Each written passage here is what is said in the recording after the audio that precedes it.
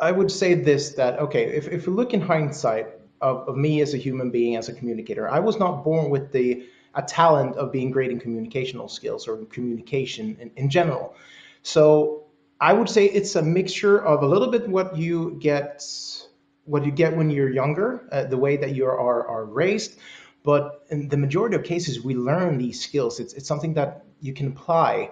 I mean, an actor can become an actor. Well, there's a little bit of talent, but in many cases, they go to acting school to learn something. Same thing here with communicational skills.